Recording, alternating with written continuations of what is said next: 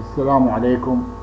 طلبة الأعزاء اليوم نواصل وياكم محاضرات علم البكتيريا ال bacteriology المحاضرة التاسعة lecture 9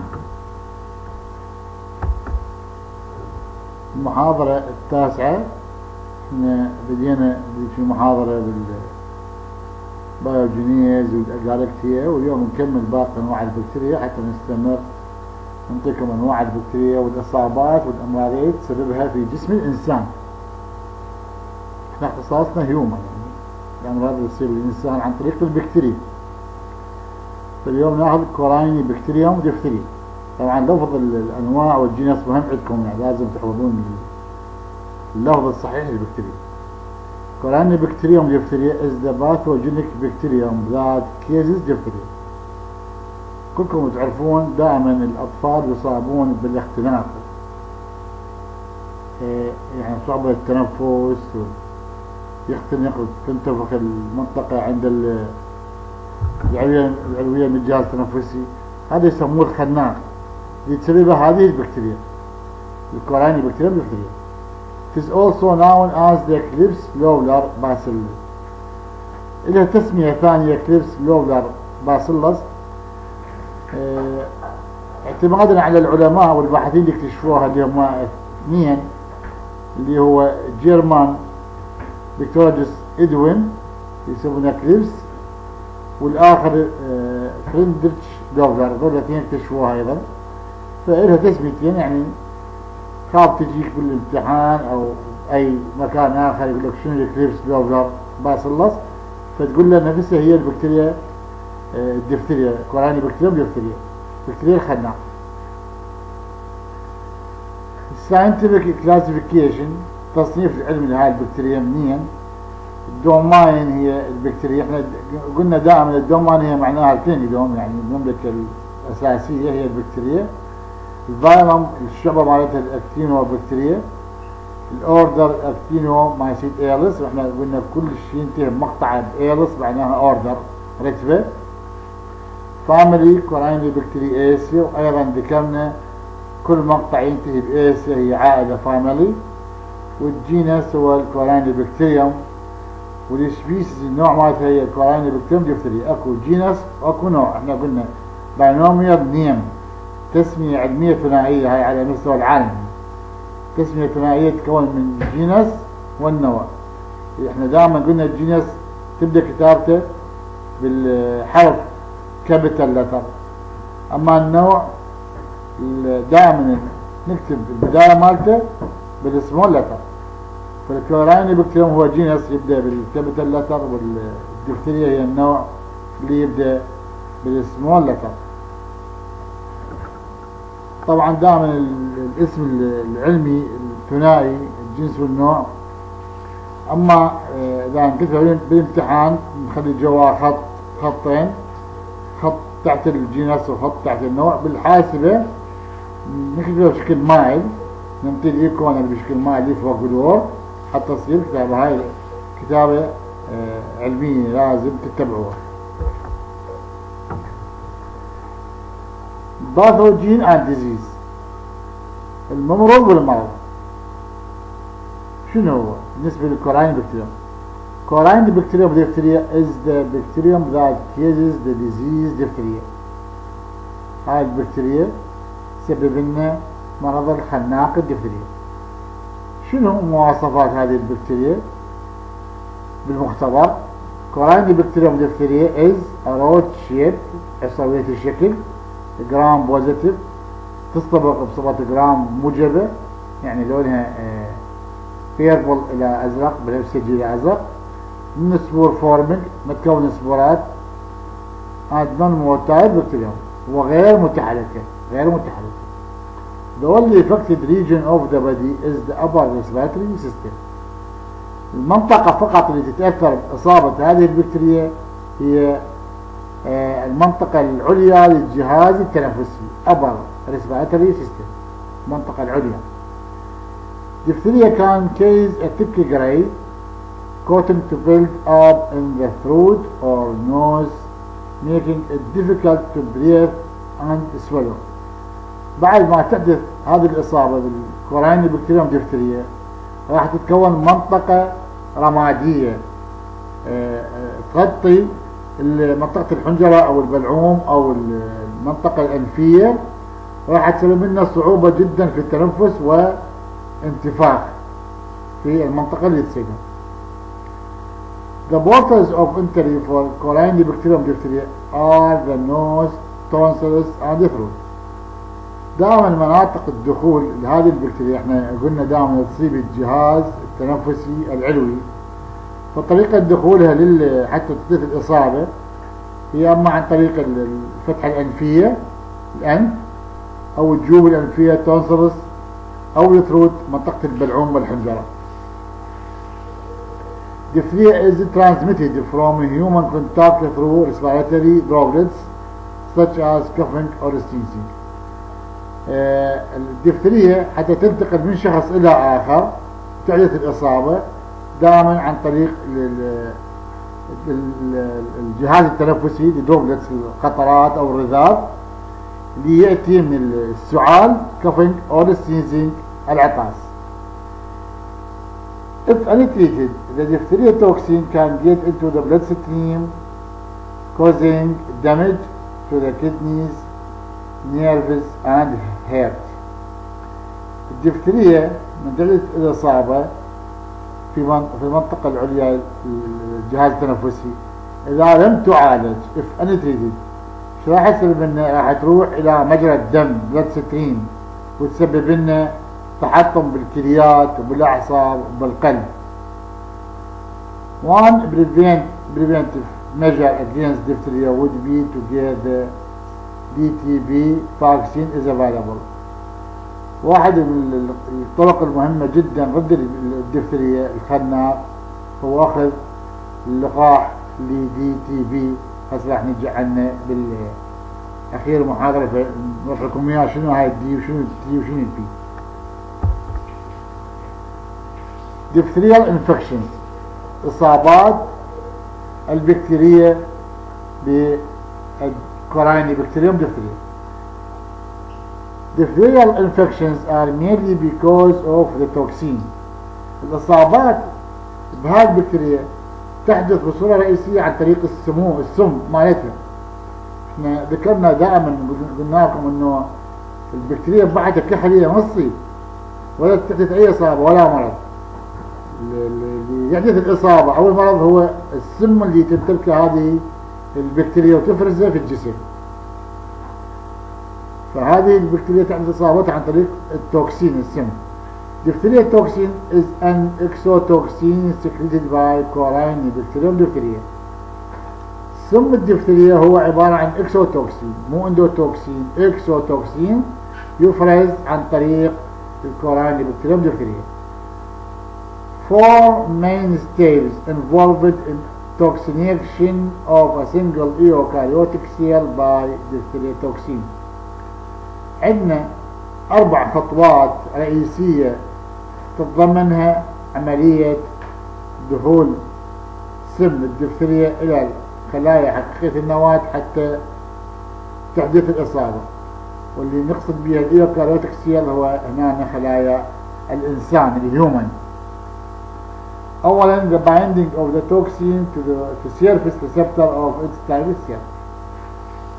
أولا حتى السم يدخل الإصابة لا يجب أن يرتبط bind the toxin of the surface receptor يرتبط مع المستقبلات السطحية of its target cell الخلايا الهدف ليستهدفها هذا السم.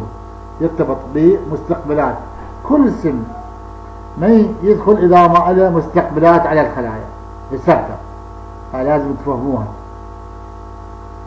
موجودة على الخلايا. الهدف target cell group of charged receptor مجموعة من المستقبلات المشحونة. into layers الموجودة في الطبقات مغروسة في الطبقات اللي راح تصير بها هاي البكتيريا. and internalization of the toxin. وممكن أن تحدث معادلة لهذا السم. By receptor mediated endocytosis عن طريق الالتهام أو البلعمة الداخلية الموجودة في الجسم. ثلاثة the insertion of the transmembrane domain B subunit هذا طبعا السم يتكون من وحدتين وحدة A وحدة B كل وحدة لها وظيفة معينة في آه، دخول هذا السم إلى المنطقة الهدف. The insertion دخول of the transmembrane domain Subunit أول ما تدخل لنا هذه ال domain أو القطعة أو الوحدة اللي هي B آه، من خلال الغشاء into the membrane بالأغشية and smooth the delivery of the catalytic domain. أما القطعة الثانية المحفزة راح تنتقل هي ال A subunit راح تدخلنا بال cytosol فراح يصير عندنا قطعتين دخلت من السم ال A وال B تحدث لنا. طبعا هو هذا السم يتكون من مجموعة كبيرة من الأحماض الأمينية. حوالي 350 حامض أميني. وترتبط بجسر ثنائي الكبريت مرجعتكم المحاضرة ما لكم إياه أني منين يتكون. آه هذا السم. فهذين الوحدتين من ضمن الوحدات اللي ارتبطن ب آه آسرة ثنائية الكبريت disulfide bond هذين هن الوحدتين. وإحنا طبعا دائما تعرفون أخوان هو السموم تتكون من بروتين والبروتين وحدته الأساسية هي الاحماض الأمينية. فهو هذا متكون حوالي من 350 حامض أميني مرتبطة بسلسلة بكتيرية. وهذا أيضا أيضا هذا السم يكون وحدتين مو وحدة واحدة. اي وبي اثنيناتهم يشتركن في إحداث السمية للدفتريا توكسين. رابعا the ADP adenosine diphosphate ribosylation of elongation factor 2 هناك يسمونه عامل تطاول آه هو العامل الثاني EF ال E معناها ال elongation وال factor ال F 2 which result in the permanent inhibition of protein هذا شو راح يسوي لنا؟ راح يسوي لنا تثبيط inhibition في تخليق البروتين. بعد البروتينات تتخلق في هذه المنطقة. فهاي تأثيرات السم أربع أربع عندنا steps أربع خطوات لحدوث السمية في منطقة الإصابة نأتي هنا إلى ال diagnosis شلون نشخص وجود هذه البكتيريا وإصابتها للجسم بالخناق The clinical diagnosis depends upon culture providing toxicity. التشخيص السريري يعتمد على طبعا الزرع diphtheria infection of the skin إصابات الدفترية عن طريق الجلد النوز الأنف throat البلعومة والحنجرة combined with the clinical signs of nasopharyngeal diphtheria. طبعا هنا راح ترتبط مع الإصابات السريرية والعلامات اللي موجودة في المنطقة الفمية البلعومية نازوفارنجيال دفتريا هنا طبعا هنا أول ما يشوف تشوف الطبيب الأخصائي ويشخصها حسب العلامات السريرية الموجودة والأعراض عند المصاب بعدين يأتي دور المختبر في التشخيص. عندنا الشيء المهم هنا بالتشخيص هو ال Schick test. شنو معنى اختبار شك اللي خاص هذا فقط بالدفتريا. وين ما تشوفون Schick test انه تقولون هاي دفتريا الخناق. بكتيريا دفتريا. شو الضمن هذا الاختبار أو الفحص the shock test involves injecting a very small dose عبارة يتضمن عن حقن جرعة صغيرة جدا of the toxin من السم الدفترية under the skin تحت الجلد of the forearm في المنطقة الأمامية من الذراع and evaluating the injection وتقيم هذه هاي الحق الحق منطقة الحقن تقيمها the injection site after 48 hours بعد مرور 48 ساعة. A positive test إذا كانت النتيجة إيجابية للفحص معناها أكو inflammatory reaction أكو تفاعل التهابي لهذا السم. Indicates susceptibility non immunity معناها هنا أكو ماكو استجابة مناعيه non immunity ماكو عندك مناعة تقاوم لهذا السم اللي يخص بكتيريا ال Corynebacteria A negative test إذا كانت الفحص سالب يعني ما ظهرت أي علامات معناها non reaction ما حصل تفاعل indicates immunity antibody neutralized toxin. معناها أكو مؤشرات على وجود مناعة عند الشخص. معناها أكو اضداد عادلت هذا السم. antibody neutralized toxin طبعا آه، إخوان بال positive test راح نشوف منطقة حمراء في منطقة الحقن بالذراع. متكونة منطقة حمراء معناها أكو عنده حساسية لهذه استجابة حساسية لهذه لهذا السم. فتظهر إنه positive معناها أنت ما عندك أي مناعة أكو التهاب عندك control السيطرة على هذا المرض الخناق اللي هو مرض قاتل وخطير على الأطفال خاصة. طبعا هو يصيب الأطفال والكبار ولكن على الأطفال خطير جدا لأن تصير صعوبة عندهم التنفس وبعدين يصير عندهم اختناق control immunization with diphtheria toxoid. هو التمنيع بالسم المضعف للدفتريا diphtheria toxoid يعني لقاح. extraordinary effective طبعا جدا هذا فعال. Diphtheria patients must be promptly treated with antitoxin. المرضى المصابين بالدفتريا يجب معالجتهم بمضاد السم انتيتوكسين to neutralize circulating diphtheria حتى يعادل سم الدفتريا أهم شيء تمنيع اللقاحات.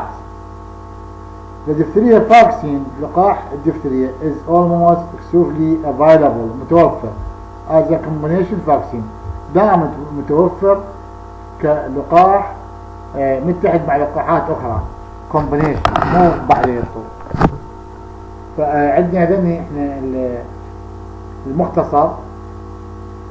أول مختصر هو DT capital diphtheria and tetanus toxoid هذا اللقاح مال الدفتريا والكزاز الخناق والكزاز. الدفتريا الخناق وال tetanus هو الكزاز فينطوه مشترك بيناتهم D يسمونه D وال T اما diphtheria tetanus pertussis نطلق عليه DTP معناها الخناق دفتريا و tetanus كزاز و pertussis السعال ثلاثي هذا.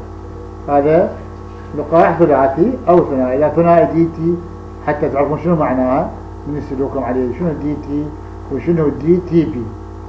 diphtheria tetanus أو diphtheria tetanus pertussis خناق كزاز سعال lecture question داين ما عندنا الأسئلة الفراغ الأول عندكم موجود والسؤال وأيضا الفراغ الثاني. ال scientific classification موجود التسمية العلمية عندكم هاي بالأول شريحة. true or false تخلي صح أو خطأ بالعبارات التالية أول واحد موجود عندكم أول ثاني شريحة. والثاني أيضا بال بال infection طريقة الدخول لل Corynebacterium عن طريق ال skin وهذا الثالث. وال diphtheria toxin هو toxin لو toxin. والرابع الخطوات ال step مال دخول السم الدفتريا والخامس تكلم لي عن فحص ال Schick test كلش واضح ومختصر. وبارك الله بكم.